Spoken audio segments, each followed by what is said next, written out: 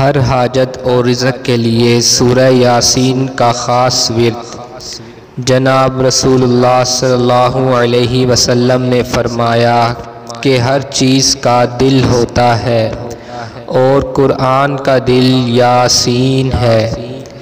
और कराम ने फरमाया कि जो शख्स सुबह और शाम सूरह यासीन पढ़ेगा उसकी अस्सी ज़रूरियात पूरी होंगी सुबहान अल्लाह और अदना ज़रूरत, फ़िक्र और मोहताजी की है।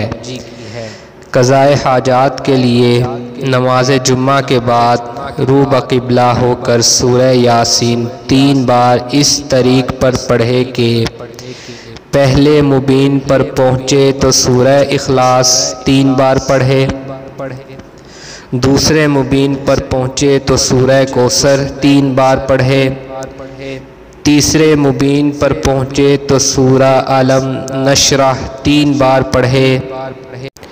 चौथे मुबीन पर पहुँचे तो सूरतुल्फ़ातिहा तीन बार पढ़े। पाँचवें मुबीन पर पहुँचे तो आयतुल कुर्सी तीन बार पढ़े। छठे मुबीन पर आ पहुँचे तो ये दुआ तीन बार पढ़े।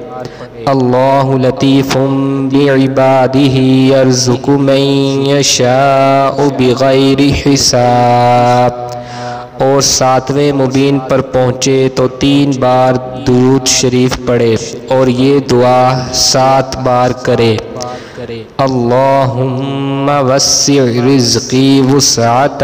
ला अहताजु इला अहदिम मिन खल्क़िका ए अल्लाह, मेरी रोज़ी में इतनी वसत फरमा कि मैं तेरी मखलूक में किसी का मोहताज ना रहूँ और फिर सूरत मुकम्मल करे।